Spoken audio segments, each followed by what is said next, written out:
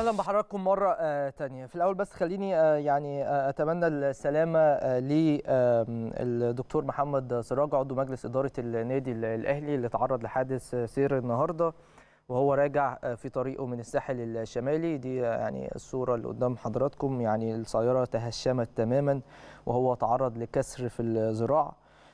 كان راجع من الساحل الشمالي عشان يحضر مراسم عزاء شقيقة الكابتن محمود الخطيب بمسجد المشير طنطاوي النهارده بالليل. فألف مليون سلامة على الدكتور محمد سراج. ويعني إن شاء الله بإذن الله بسيطة ويخف بسرعة. وإن شاء الله نتمنى السلامة للجميع.